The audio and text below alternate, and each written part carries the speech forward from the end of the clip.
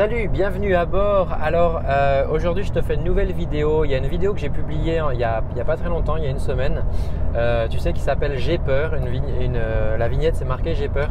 Et cette vidéo a suscité pas mal de commentaires, de messages privés qui m'ont été envoyés, de réactions, parce qu'a priori c'est vraiment un sujet, voilà, c'est vraiment un sujet qui intéresse beaucoup de monde. Et à travers cette nouvelle vidéo, je voudrais te donner de nouvelles clés, d'accord, pour t'aider peut-être à éclairer et t'aider à avancer sur ce sujet.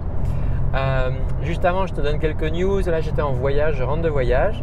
Euh, demain, j'ai. Euh, comment dire Ouais, demain soir, jeudi soir, j'ai les portes ouvertes. On a les portes ouvertes de la Vocal Coach Factory dans lequel on va.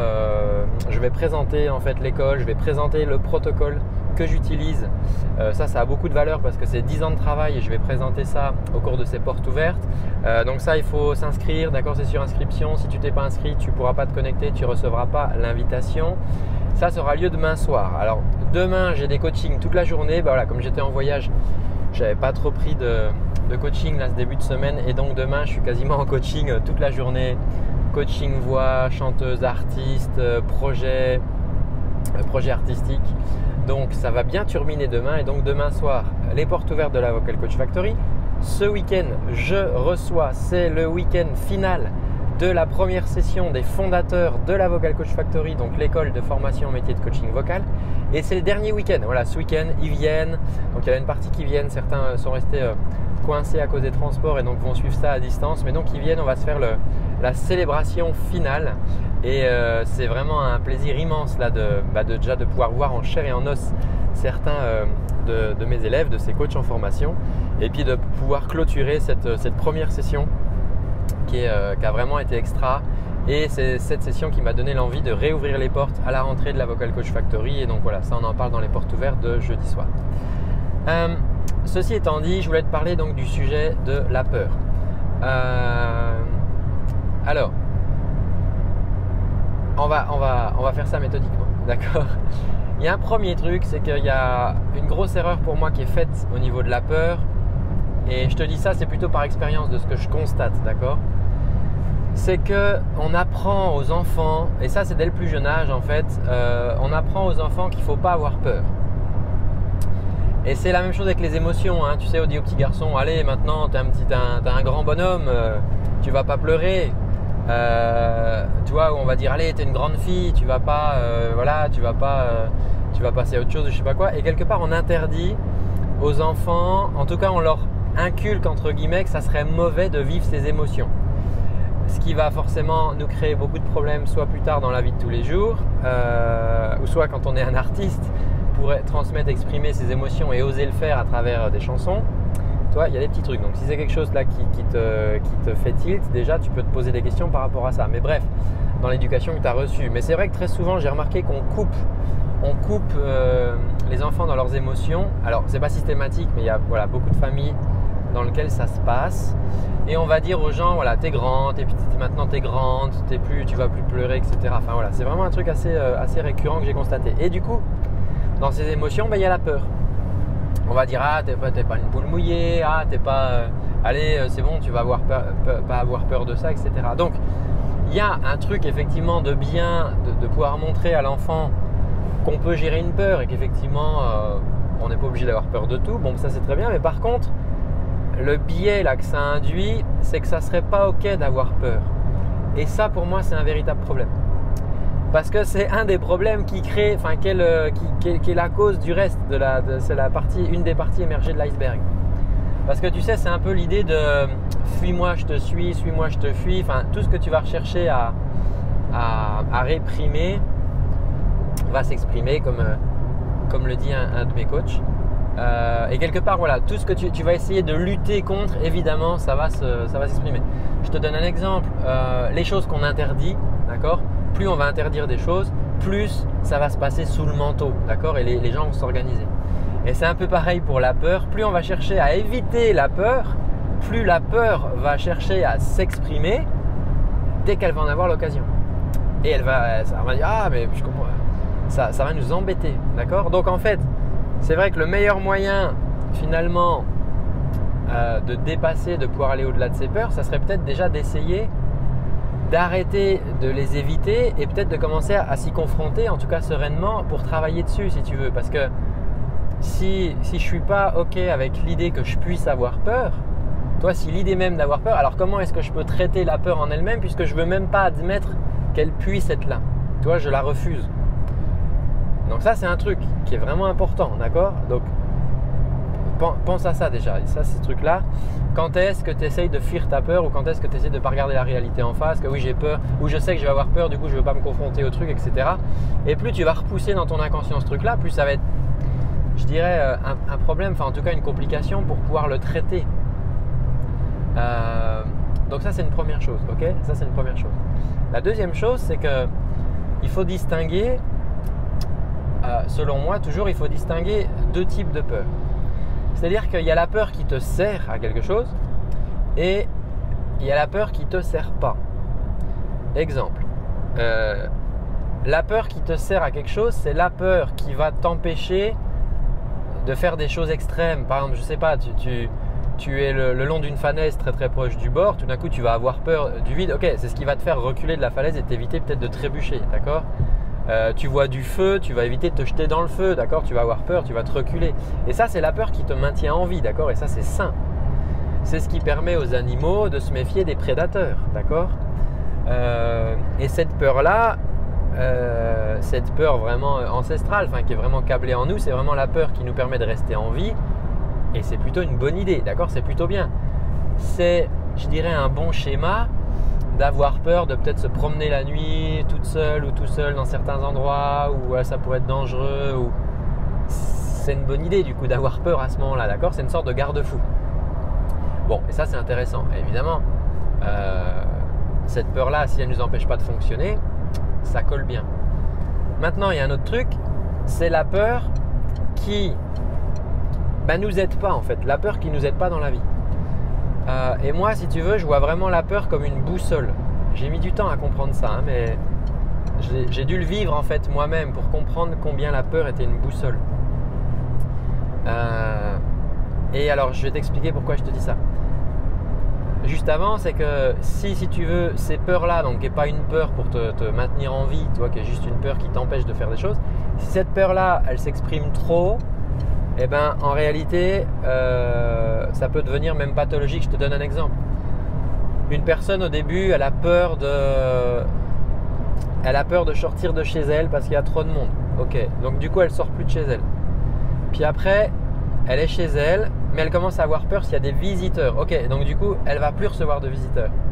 Et ensuite, elle va commencer à avoir peur d'attraper des bactéries. Donc, elle va se laver tout le temps. Et après, elle va se dire oui, mais dans l'eau que j'utilise, peut-être qu'il y a aussi des virus ou je sais pas quoi. Et elle va avoir peur même de l'eau et de se laver. Toi, ce que je veux dire, c'est que si tu laisses cette peur irrationnelle gagner du terrain, petit à petit, de toute façon, à un moment, elle va gagner et tu seras bloqué complètement. Et donc, pourquoi est-ce que. C'est pour ça que pour moi, c'est vraiment intéressant, si tu veux, de s'occuper de ce dossier-là, des peurs. Euh, parce que, d'une part, donc c'est très bien d'avoir peur. Parce que pour moi, c'est une boussole. Et pourquoi je te dis une boussole? Parce qu'en fait, la peur, comme je te le disais dans ma précédente vidéo, c'est exactement ce qui peut se mettre entre toi, et tes rêves. entre toi et, la vie que tu voudrais vivre, tu vois. Euh, et ça, en fait, si tu veux, bah, c'est la, la peur la peur de l'inconnu, enfin de faire quelque chose finalement que tu connais pas, une situation que tu n'as jamais expérimentée. Euh, et si du coup tu laisses la peur aujourd'hui comme une barrière autour de toi, et que tu vas jamais explorer en t'approchant un peu de la peur ce qui pourrait y avoir plus loin de la barrière, bah, tu n'as aucune chance de repousser finalement cette barrière-là, ces barrières et d'étendre ta zone de, confort, ta zone de, des choses pour lesquelles c'est bon pour toi. Et du coup, le problème, c'est qu'en tant qu'être humain, tu vois, moi je suis persuadé qu'on a besoin on peut pas rester le même toute sa vie, avoir la même manière de fonctionner parce qu'il y a des choses qui sont ok quand on est petit, quand on est adolescent, quand on est adulte, etc. Et donc quelque part, moi je vois la vie comme un super terrain de jeu pour s'expandre, comme un moyen d'expansion, pour euh, apprendre de nouvelles choses, pour devenir quelque part meilleur dans ce qu'on veut faire. Donc du coup, si tu laisses les peurs guider ta vie, bah, tu t'en aperçois peut-être pas jusqu'à présent, peut-être que cette vidéo elle peut t'aider à faire ça, c'est quelque part, c'est vachement dommage. C'est vachement dommage parce que du coup, quelque part, ça veut dire vivre une vie qui est dictée par les peurs. Tu vois, ça veut dire que la peur prend le contrôle, alors que ta vie, elle pourrait être dictée par les envies de faire quelque chose, le désir de faire quelque chose, de, tester des choses, de voir des nouvelles choses, de, visiter des espaces, de, de, voilà, de et ça c'est vraiment voilà les artistes si tu veux sont drivés par voilà toi moi en tant qu'artiste j'ai envie de tester des nouveaux instruments, des nouveaux sons, j'ai envie de tester des nouvelles formes d'écriture, des collaborations que j'ai jamais faites, des projets que j'ai jamais fait. La première fois où j'ai écrit pour un spectacle, pour un, metteur en scène, bah, j'avais jamais écrit pour un spectacle. J'écrivais pour moi. Il a bien fallu que je vaincre cette peur. Quand j'ai fallu faire de la composition de la musique à l'image avec des images 3D, j'avais jamais écrit à l'image. Il a bien fallu que je le fasse une première fois, tu vois. Et ça, c'est vraiment le désir, l'envie, l'expansion.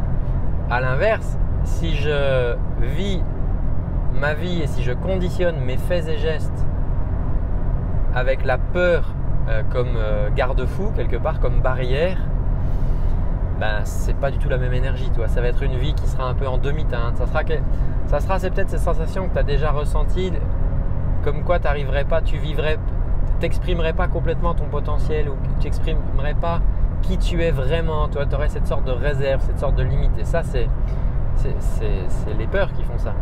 Et voilà pourquoi moi je parle de la peur comme une boussole, parce que quand il y a des choses qui te font peur, c'est exactement vers là où tu devrais aller. Alors sauf si c'est d'une falaise, d'accord? Mais si c'est de s'exprimer en public, de chanter devant les autres, de se révéler comme à travers un artiste, à travers des projets, de voilà. Si, si tu as des peurs là-dessus, bah, fonce, vas-y, il faut y aller, il faut aller déboulonner ça, d'accord euh, Prends-toi un coach, va travailler là-dessus. Euh, si c'est quelque chose qui t'intéresse, là, je vais très très très très prochainement, dans les jours qui viennent, euh, annoncer l'ouverture du coup d'un programme de coaching spécifique, un accompagnement spécifique sur cette thématique-là. Ça sera un programme hybride. enfin, je suis en train de bosser dessus. Ça va être un super programme, un programme hybride avec des exercices à faire, avec du coaching individuel en profondeur où on va vraiment aller gratter les choses et tu vas, tu vas voir qu'il y aura vraiment un avant et un après ce truc-là. Et c'est tellement beau que donc voilà, dis-moi, dis en commentaire si c'est quelque chose qui t'intéresse. Euh, dis-le en commentaire, d'accord Comme ça, on pourra te recontacter même en, priorité. Euh, parce que là, comme il va y avoir vraiment du coaching individuel, c'est pas un truc que je vais pouvoir faire avec euh, des dizaines et des dizaines de personnes. Donc, autant que tu en profites si c'est vraiment un sujet, toi, qui t'interpelle en ce moment. Hein. et donc, du coup, je voudrais te raconter une histoire par rapport à ça parce que je te disais que à travers cette vidéo, en fait, ce qui va se passer, d'accord Il faut, faut que je te le dise à travers cette vidéo, j'essaye d'allumer des petites lumières, d'accord Mais je pourrais jamais ouvrir grand les rideaux et faire rentrer le soleil tout grand dans ta pièce, d'accord Parce que là, ce que je te donne, c'est des concepts, c'est des choses voilà, que j'ai expérimentées, que je sais, que j'ai que j'ai apprises, que j'ai validées sur des coachings, sur moi-même, etc. Donc c'est vraiment des choses voilà, que, j'ai vécues, que je, que sais, si tu veux. Mais ça reste des concepts comme je te les explique là, d'accord? Donc la portée de cette vidéo est forcément limitée j'essaie de faire le maximum. Toi, là, je suis dans ma voiture, je pourrais écouter de la musique, je pourrais passer, voilà, euh, ouais, un disque, enfin, écouter de la musique, etc. Et là, je te fais cette vidéo avec l'image qui bouge, le bruit de fond, etc. C'est pas des conditions idéales, mais parce que ça me porte vraiment de pouvoir t'aider à avancer là-dessus. Donc, je te partage tous ces concepts à travers cette vidéo. Mais ce qu'il faut que tu comprennes, c'est que ces peurs qui sont là, qui ne sont pas des peurs de survie, toi, la peur qui t'empêche de tomber dans la falaise, ces peurs-là, elles proviennent, et c'est pour ça qu'il y a vraiment besoin d'aller les traiter en profondeur, c'est parce qu'elles proviennent, si tu veux, d'événements passés beaucoup plus profonds, des, choses qui sont vraiment ancrées en toi. Et c'est pour ça que ça, faut aller le travailler en profondeur. Je te donne un exemple. Une personne que j'ai accompagnée, une personne formidable, euh, entrepreneur à succès, artiste, auteur, elle écrit des livres, elle a déjà publié plusieurs livres. Et euh, elle galérait en fait sur son prochain livre. Ça faisait plusieurs coachings où elle me parlait de ce livre.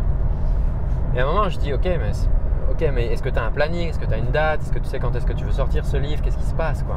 C'est, quoi le problème avec ce livre en fait? Tu as, déjà sorti des livres. Et en fait, ce livre, ce qu'on s'est aperçu dans le coaching, c'est que ce livre lui tenait vraiment à cœur. C'est-à-dire que pour elle, c'était un peu son, son deuxième ou troisième livre. Et c'était du coup vraiment son, pas son chef-d'œuvre, mais ouais, si quand même, toi, vraiment son livre. Euh, quelque part, si elle devait en, écrire qu'un, ce serait vraiment celui-là qui, lui importait, tu vois. Ça serait vraiment de sortir ce livre. Et donc, du coup, ce qui se passait, c'est que elle me dit, bah, en fait, en, creusant là-dessus, elle me dit bah, en fait j'ai peur. Finalement j'ai peur, j'ai peur d'aller au bout de ce livre, j'ai peur qu'il sorte ce livre, j'ai peur de le terminer. Et en creusant, donc ça, bon, ça nous a pris euh, deux heures, hein, deux bonnes heures. Euh, parce que voilà, bah, du coup c'est le cadeau du coaching individuel, hein, c'est que tu peux vraiment aller en profondeur des choses. Et ce qu'on est allé extirper en réalité, je te fais le résumé du coup maintenant, hein, c'est que sa peur la plus profonde finalement c'était la peur de la mort, c'était la peur de mourir. Et quelque part, si tu veux, si elle accouchait de ce livre, qui pour elle était vraiment euh, peut-être son message sur Terre, toi, le chef-d'œuvre de sa vie, bah, si elle terminait ce livre, quelque part, elle aurait plus trop d'utilité à être là sur Terre et quelque part, ben, elle avait peur finalement que sa vie s'arrête parce qu'elle euh, n'avait plus d'utilité. Enfin, toi, elle avait, cette peur en fait de la mort. Donc toi, c'est quelque chose de fort quand même la peur de la mort. Mais c'est pas quelque chose qu'elle va me dire comme ça. Ah oui, toi, j'ai peur de la mort. Non, non, c'est l'exercice. C'est puissant, toi, comme exercice. C'est pas le truc qu'on fait comme ça, euh, voilà. Et donc du coup, euh, bah donc du coup, c'était vachement intéressant que ce qu'elle voyait comme une procrastination au départ, oui, je traîne un peu, je traîne un peu. Je l'ai challengé, on allait bosser ça en profondeur. Et en fait, c'était rattaché à une peur de la mort. Donc, on a travaillé du coup sur la peur de la mort et en équilibrant, en, tu veux, en avançant sur cette peur de la mort. Son livre est sorti, je crois, trois ou quatre mois après, en fait. Euh, voilà, enfin, j'ai le livre à la maison. Enfin, c'est voilà, le livre est sorti 3-4 mois après. Enfin, c'était c'était déverrouillé. C'était voilà, il y avait plus de il y avait plus de il y avait plus de négo. il y avait plus de négo. Toi, mais tu comprends du coup que c'est des choses qui peuvent être assez profondes. Voilà, c'est pour ça que je te donne voilà, je te donne ces clés à travers cette vidéo. J'espère que c'est c'est des choses. J'espère que tu apprécies du coup ce temps que je prends pour toi et ce contenu que je te partage. Parce que j'espère, j'ai vraiment la conviction que ça peut t'aider à au moins porter une réflexion, de te dire tiens ok, et c'est la question que je pourrais te poser, ça serait quoi en fait une vie où euh, tu enlèves les barrières de tes peurs? D'accord? Ça devient quoi la taille du champ? Ça devient, la, taille du pré, ça devient quoi? Il devient quoi le paysage si tu enlèves les barrières de tes peurs, tu vois? Ça ne veut pas dire que tu es capable aujourd'hui de les enlever, d'accord? Et peut-être qu'il faut que tu t'engages dans ce processus, que ce soit avec moi ou, d'autres personnes.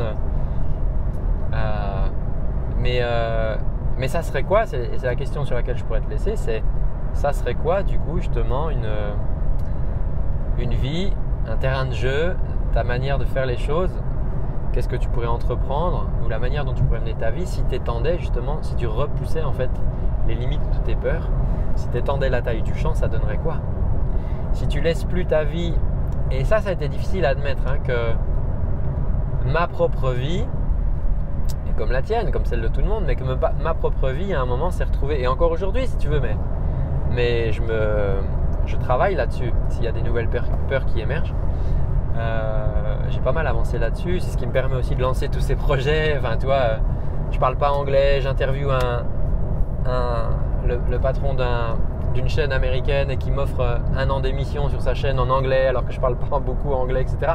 Bon, bah ça évidemment, toi, il faut une certaine confiance, tu vois. Donc, il faut avoir bossé quand même sur ce sujet des peurs.